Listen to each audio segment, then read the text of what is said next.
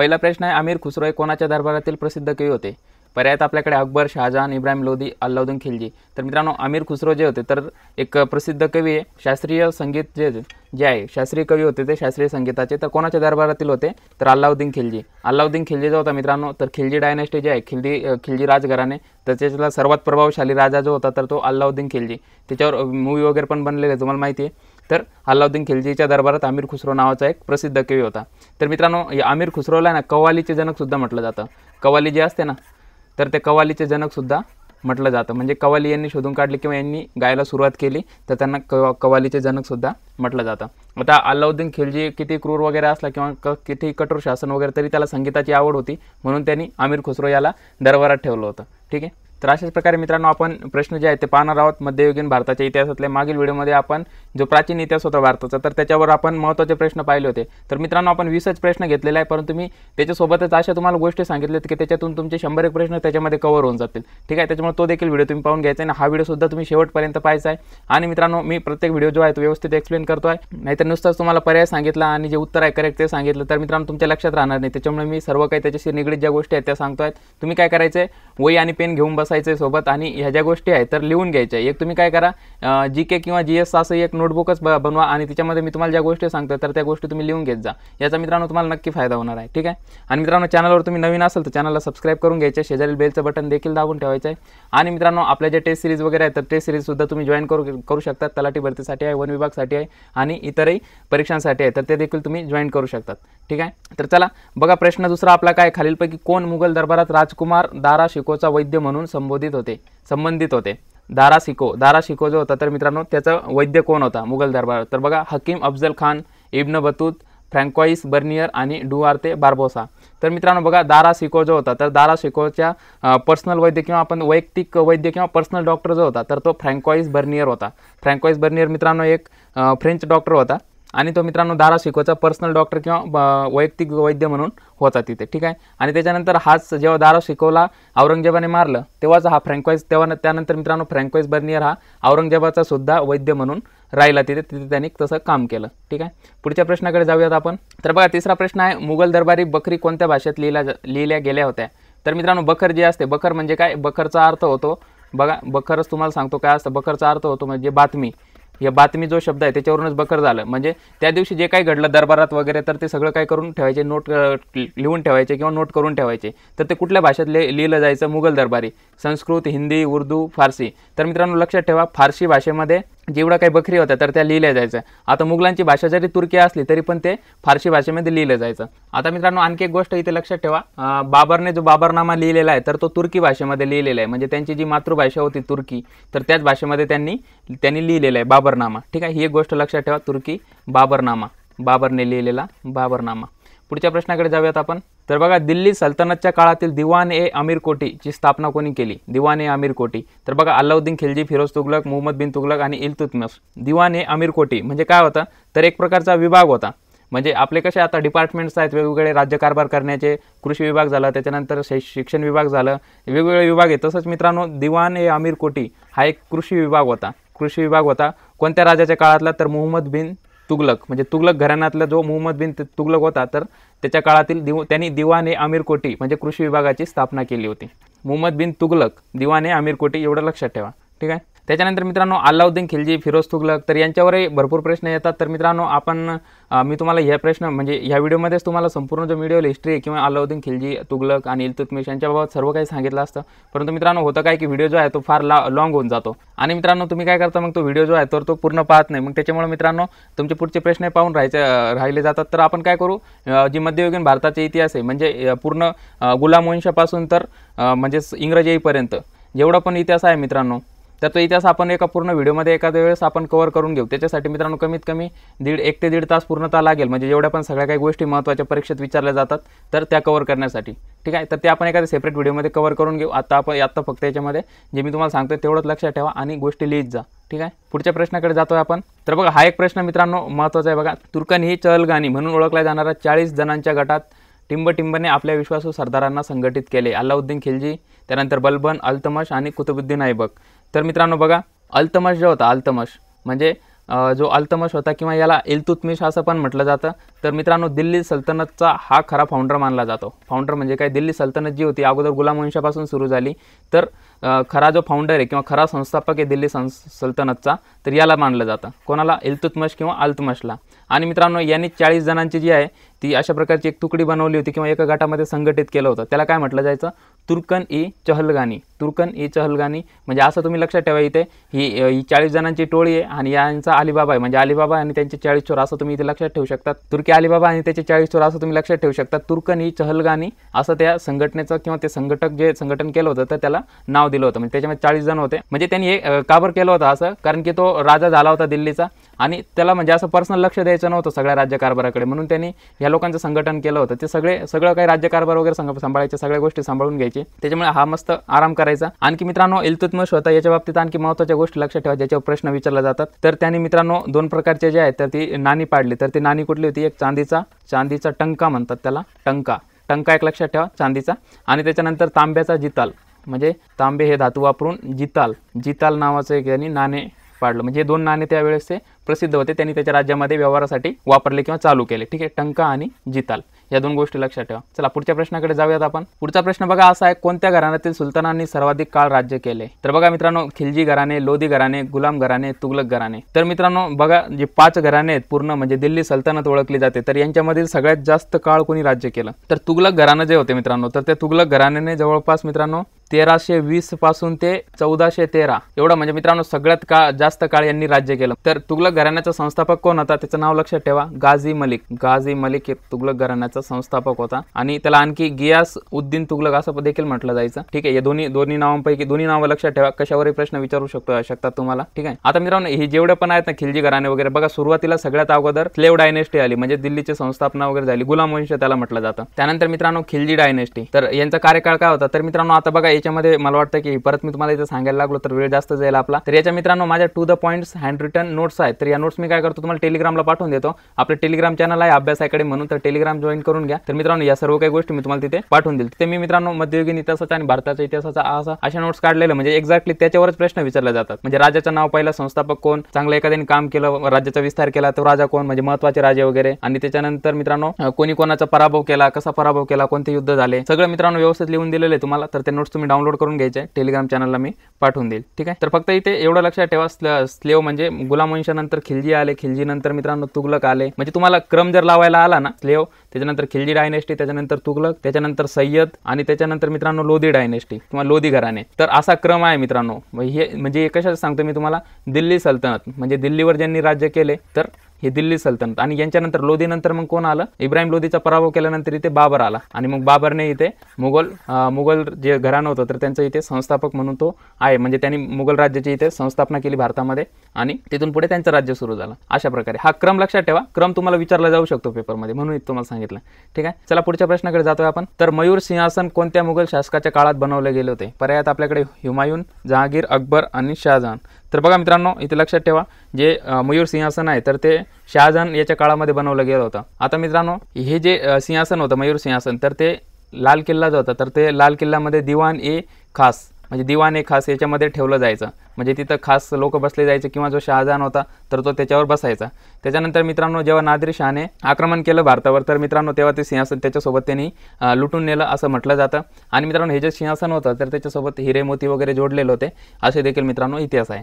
ठीक आहे? तर याच्या बाबतीत एकच लक्षात ठेवा मयूर सिंहासन शहाजहानाच्या दरबारात होतं. ठीक आहे? पुढच्या प्रश्नाकडे जातोय आपण. तर बघा इल्तुतमिशच्या कारकिर्दीत लष्करी सेवेसाठी डॅश डॅश म्हणून ओळखले जाणारे विशेष गुलामी खरेदी केले जात तर मित्रांनो बघा गुलाम म्हणजे अगोदरचे जे लोक कामाला ठेवले जायचे तर ते गुलाम म्हणूनच ठेवले जायचे. म्हणजे राजा एकच असायचा आणि बाकीचे जेवढे पण येतात ते गुलाम. तर त्याच्यामध्ये बघा इक्तदार मुक्ती बंडगान आणि सामंत. तर इल्तमिसच्या कारकिर्दीमध्ये कोणते विशेष गुलाम खरेदी केले जायचे? तर बंडगान म्हणून. तर बंडगान हे कशासाठी होते? लष्करी सेवेसाठी. लष्करी म्हणजे लढण्यासाठी म्हणजे सैन्य म्हणून त्यांचा वापर केला जायचा. त्याच्यानंतर इक्तदार. इक्तदार हे मित्रांनो कशासाठी होते?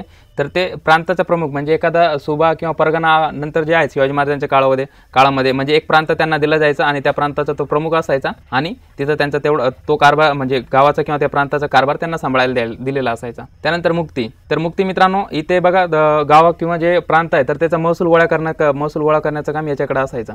मुक्ती.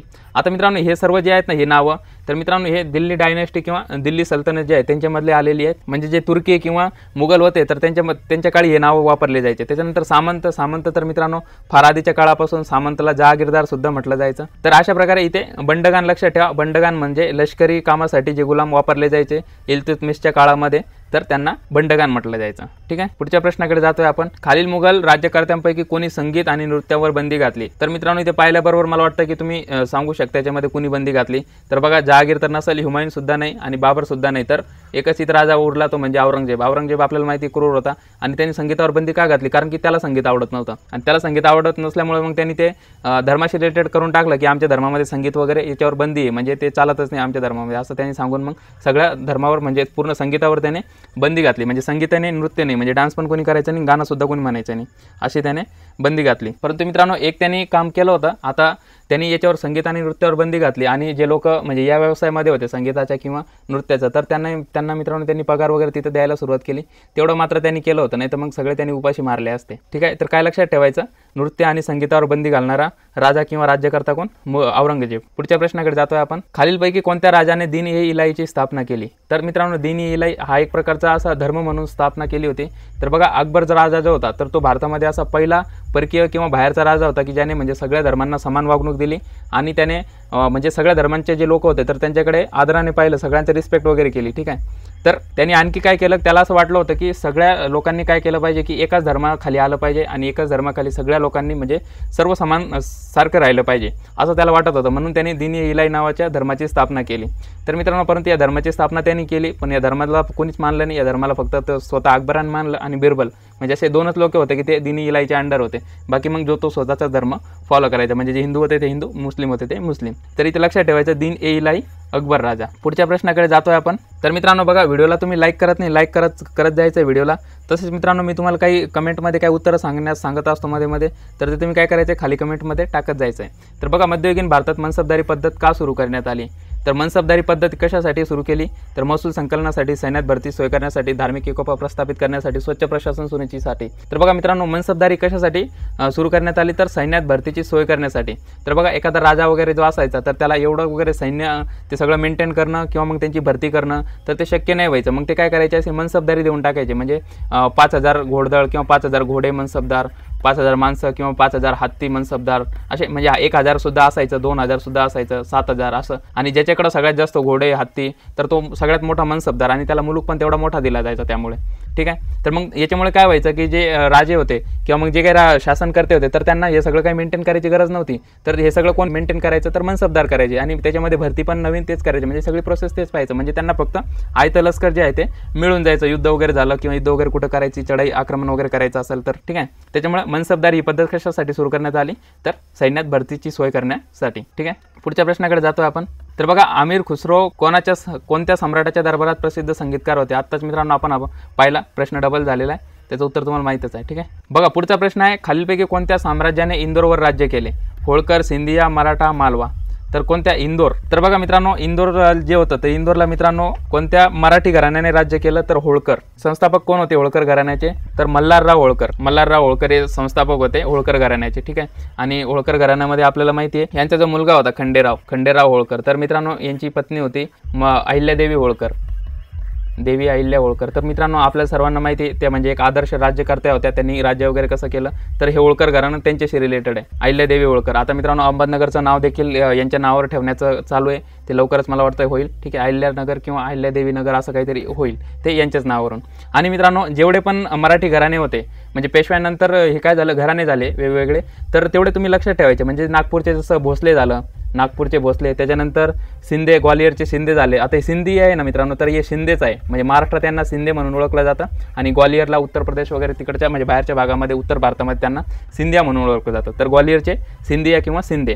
त्याच्यानंतर वडोदरा आहे म्हणजे गुजरातचे वडोदरा किंवा गुजरातचे गायकवाड. अशा प्रकारे मित्रांनो घराने घराणे याची पण पूर्ण एक लिस्ट आहे. तर मित्रांनो ते पण मी तुम्हाला नोट्समध्ये ॲड करून देईल. तेवढं एक पाठ करून ठेवायचं की कोणतं घराणं कोणत्या गाव कोणत्या ठिकाणी स्थापन केलं होतं. ठीक आहे? आणि पेशव्यांचं देखील आहे. मित्रांनो तर पेशवे पूर्ण पेशव्यांची जी वंशावळ आहे तर ती पूर्ण वंशावळ देखील मी तुम्हाला देऊन टाकेल. त्याच्यानंतर शिवाजी महाराजांची वंशावळ म्हणजे पूर्ण जे भोसले घराणं आहेत मालोजीराजे बाबा त्यांच्यापासून तर शहाजी महा शाहू महाराजांपर्यंत म्हणजे पूर्ण वंशावळ तेवढी पाठ करून टाकायची. कसा प्रश्न तुम्हाला विचारला जाईल ते सांगता येत नाही. ठीक आहे? पुढच्या प्रश्नाकडे जातोय आपण. तर बघा पुरंदरचा तह कोणादरम्यान झाला? तर मित्रांनो बघा अतिशय सोपा प्रश्न आहे मुघल आणि मराठे. हे तर मला वाटतं एक्सप्लेन करायची म्हणजे काही सांगण्याची गरज नाही. हे तर तुम्हाला माहीतच असेल ठीक आहे? आता हा करार काय झाला होता? कारण की पुरंदरचा जो किल्ला होता पुरंदरच्या किल्ल्यावर किंवा स्वराज्यावर राजा जयसिंग जो होता तर तो चालून आला होता. आणि पुरंदर या ठिकाणी लढाई झाली. पुरंदरचा किल्लेदार कोण होता? मुरारबाजी. मुरारबाजी देशपांडे हा मित्रांनो क- पुरंदरचा किल्लेदार होता. आणि मित्रांनो भरपूर जबरदस्त लढाई तिथे झाली. त्याच्यानंतर तिथे मुरारबाजी शहीद झाला. तर महाराजांना असं वाटलं की इथे त करणं योग्य ठरलं. म्हणून त्यांनी तिथे तह केला आणि तहामध्ये मित्रांनो काय गोष्टी झाल्या ते आता लक्षात ठेवा या महत्त्वाच्या आहे तहामध्ये काय गोष्टी झाल्या तर तेवीस किल्ले मुघलांना दिले महाराजांनी. त्यानंतर आग्रा भेट मान्य केली म्हणजे आग्र्याला जाण्याचं त्यांनी मान्य केलं. आणि संभाजी महाराज जे होते तर छोटे संभाजी महाराज त्यांना देखील सोबत घेण्याचे किंवा पाठवण्याचं त्यांनी मान्य केलं. अशा प्रकारे हा तह झाला होता. तर तेवढं लक्षात ठेवा. एक आणखी मित्रांनो याची एक डेट लक्षात ठेवा. डेटसुद्धा याची महत्त्वाची तर अकरा जून एकोणावीसशे पासष्ट. सॉरी एकोणावीसशे नाही सोळाशे पासष्ट. एकोणावीसशे काय? सोळाशे पासष्टमध्ये मित्रांनो हा तळ झाला होता पुरंदरचा. चला पुढचा प्रश्न. टिंबटिंब यांनी भक्ती चळवळ पहिली भक्ती चळवळ आयोजित केली होती. नानक मीरा रामदास रामानुजाचार्य.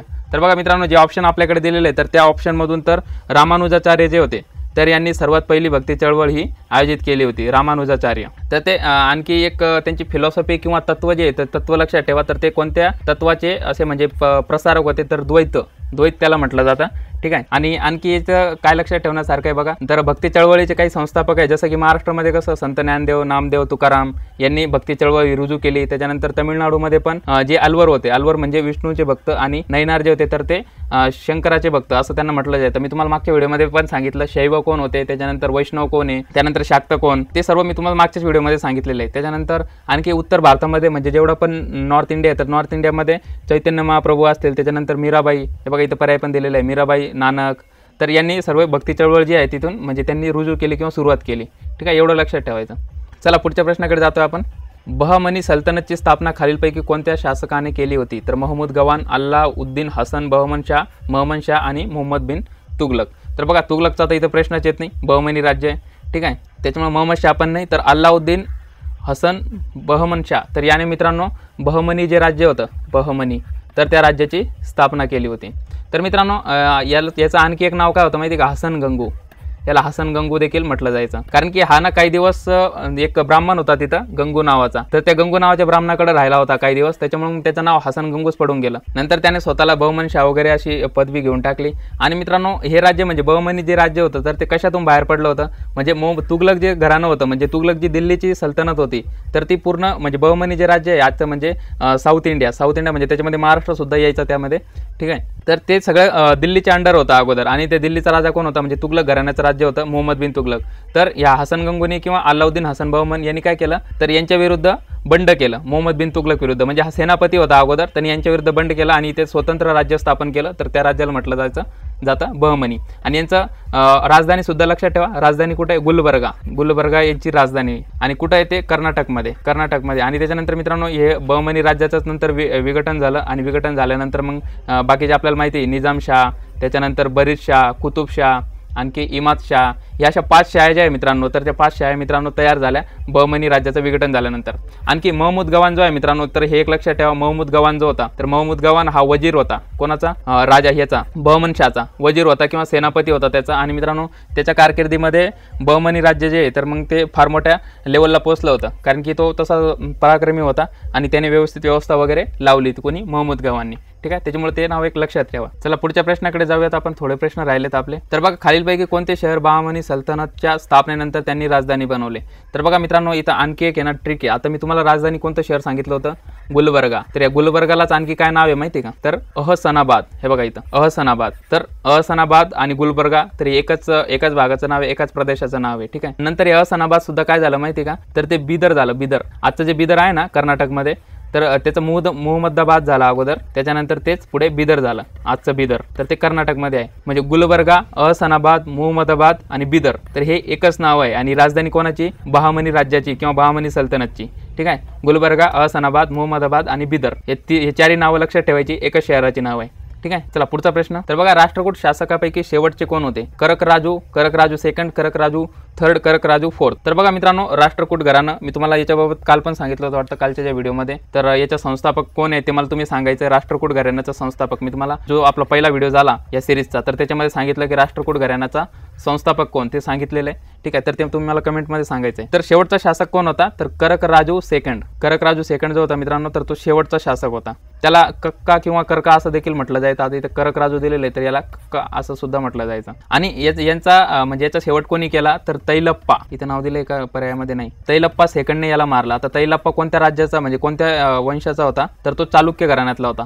चालुक्य. आता मित्रांनो हे जेवढे पण राजघराणे होते ना म्हणजे पूर्ण भारतामध्ये भारतीय उपखंडामध्ये सगळे पल्लव रा चोला असतील चालुक्य असतील सगळे तर ते एकमेकांशी असं लढत राहायचे. पांड्या असतील चेरा असतील सातवाहन असतील तर ते म्हणजे स- सत्ता वाढवण्यासाठी सत्ता विस्तार वाढवण्यासाठी यांचा पराभव करून त्यांची ती सत्ता घेऊन टाकायची. जसं की जे चोल घराणं होतं तर ते चोल घरांनी पा- घराण्यांनी पांडे जे होते पांड्या तर त्या पांड्यांचं त्यांनी मित्रांनो म्हणजे मित्रांनो त्यांचे प्रदेश जिंकून घेतले आणि चोल राज्याची स्थापना केली. अशा प्रकारे मित्रांनो तो संघर्ष त्यांचा चालू राहायचा. तर याच्यामध्ये राष्ट्रकूट शासकापैकी शेवटचा राहिला तो करक राजू सेकंड आणि त्याचा पराभव कोणी केला? तैलप्पा सेकंड याने आणि ते कोणत्या घराण्यातील होते? तैलप्पा. तर ते चालुक्य. आता मित्रांनो हे तुम्हाला कक्का सेकंड हे सुद्धा लक्षात ठेवणं गरजेचं आहे. करक राजू सेकंड इथे बघा थर्ड फोर्थ असे देखील दिलेले आता तुम्ही म्हणाल की हे नावं सेकंड थर्डला असं लक्षात राहत नाही.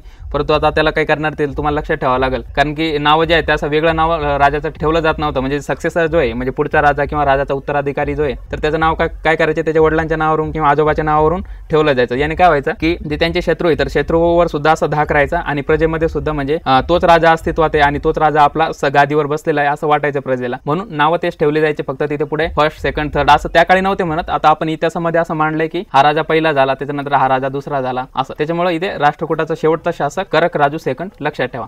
चला पुढच्या प्रश्नाकडे जाऊयात. एक दोन प्रश्न राहिलेत आपले फक्त. तर बघा बेसिनचा तह अठराशे दोन कोणा दरम्यान झाला? महत्त्वाचा प्रश्न आहे मित्रांनो बघा. तर हा तर मित्रांनो बघा ब्रिटिश आणि टिपू सुलतान यांच्यामध्ये झाला का नाही? इंग्रज आणि होळकर नाही ब्रिटिश आणि गायकवाड नाही. तर हा कोणामध्ये झाला? तर इंग्रज आणि पेशवा दुसरा बाजीराव. तर बघा इथे विषय काय झाला होता? तर पेशवाईनंतर मित्रांनो बघा इंग्रजांनी काय केलं होतं की म्हणजे पूर्ण भारतावर ते असं राज्य स्थापित करण्यासाठी सगळ्यांचं सगळ्यांना पराभूत वगैरे करायचे म्हणजे युद्ध चालू होतं. तर टिपू सुलतानचा जेव्हा पराभव झाला त्याच्यानंतर फक्त मराठी मराठी सत्ताच उरली होती. म्हणजे अशी मोठी सत्ता उरली होती कोणासमोर? इंग्रजांसमोर. त्यांचा पराभव करण्यासाठी मग त्यांनी त्यांची कामं म्हणजे सुरू केली. आतून वगैरे पोकरायचं मग याच्यामुळे काय झालं? जसं की मी तुम्हाला ते घराने सांगितले अं, होळकर सांगितले इंदोरचे होळकर झाले भोसले झाले नागपूरचे त्याच्यानंतर ग्वालियरचे शिंदे झाले त्यानंतर वडोदऱ्यात किंवा गुजरातचे आपले गायकवाड झाले. तर यांच्यामध्ये काय व्हायला लागले? भांडणं व्हायला लागले आपापसामध्ये वाद वगैरे व्हायला लागले. एका लढाईमध्ये इंदोरचे जे होळकर होते तर यशवंतराव होळकर तर त्यांनी काय केलं? शिंदे सिंधिया म्हणजे शिंदे आणि पेशवे यांचा काय केला? पराभव केला. आणि यांचा पराभव केल्यामुळे पेशवा काय केला? हे पेशवे काय पेशव्यांनी काय केलं? तर ते इंग्रजांकडे गेले आणि इंग्रजांकडे त्यांनी मदत मागितली वगैरे. आणि त्या त्यानुसार मग बाजीराव पेशवाने काय ठरवलं? की तिथला जो प्रदेश आहे तर तो इंग्रजांना दिला आणि त्यांचं सैन्य वगैरे त्यांना संरक्षण वगैरे देण्याचं सुद्धा मान्य केलं. तर त्या तहाला म्हटलं जातं बेसिनचा तह कारण की हा तह कुठे झाला होता? बासिन येथे झाला होता. बासिन या ठिकाणी झाला होता अठराशे दोनमध्ये म्हणून या तहाला बेसिन किंवा बासिनचा तह असं म्हटलं जातं. ठीक आहे? एवढं लक्षात ठेवा. तर मित्रांनो मी फार डिटेलमध्ये जात नाही फार डिटेलमध्ये गेलो तर तुम्हाला माहिती आहे व्हिडिओ जो आहे तो आपला मोठा होऊन जातो. त्याच्यामुळे मी फार डिटेलमध्ये जात नाही आहे ठीक आहे? पुढचा प्रश्न आहे बघा आणि मला वाटतं शेवटचा प्रश्न आहे आपला छत्रपती शिवाजी महाराजांनी प्रथम सुरतेवर छापा कधी केला? तर बघा इयर दिले पहिलं सोळाशे चौऱ्याहत्तर सोळाशे चौसष्ट सोळाशे पासष्ट सोळाशे अडुसष्ट. तर बघा मित्रांनो छत्रपती शिवाजी महाराजांनी सोळाशे चौसष्टमध्ये सुरतेवर पहिला छापा टाकला होता सोळाशे चौसष्टमध्ये त्याच्या अगोदर काय झालं होतं? शाहिस्त खान सोळाशे त्रेसष्टमध्ये बघा शाहिस्त खान आला होता स्वराज्यामध्ये तर तो इथे तीन वर्ष राहिला. ठीक आहे म्हणजे सोळाशे त्रेसष्टमध्ये त्याचे शिवाजी महाराजांनी त्याची तीन बोटं कापली. कुठं? पुण्याच्या लाल महालामध्ये. मग त्याच्यानंतर त्यांनी काय केलं? पुणे सोडलं. म्हणजे स्वराज्य तो सोडून निघून गेला. ठीक आहे? त्याच्यानंतर मग याने जे काही नुकसान नुकसान केलं होतं शाहिस्ता खानने तीन वर्ष मग त्याची भरपाई करणं गरजेचे होते कारण की स्वराज्याचं नुकसान झालं होतं तेवढं. तर मग त्याच्यासाठी शिवाजी महाराजांनी काय केलं? सोळाशे चौसष्टमध्ये सुरतवर प्रथम हल्ला केला आणि तिथे जे काही म्हणजे असे आता ते राज्य कोणाच्या अंडर होतं? तर ते औरंगजेबाच्या अंडर होतं. म्हणून मित्रांनो सुरत जे असं म्हणजे धनसंपन्न होतं व्यापार असं भरभराटीला आला होता. म्हणून तिथं संपत्ती मिळवली तिथं छापा टाकून. ठीक आहे? सर पहिली कधी पहिला कधी छापा टाकला? सोळाशे चौसष्टमध्ये आणि दुसऱ्यांदा कधी स्वारी केली? तर सोळाशे सत्तरमध्ये ही दुसऱ्यांदा केली आणि सोळाशे चौसष्टमध्ये पहिल्यांदा केली. तर ह्या दोन गोष्टी मित्रांनो इथे लक्षात ठेवा दोन वर्ष. ठीक आहे? तर अशा प्रकारे बघा मित्रांनो आपण वीस प्रश्न जे आहेत ते पाहिलेले आहेत. तर मित्रांनो आणखी याच्यामध्ये आधुनिक भारताचा जो इतिहास आहे आता आपण मध्ययुगीन भारताचा इतिहास पाहिला.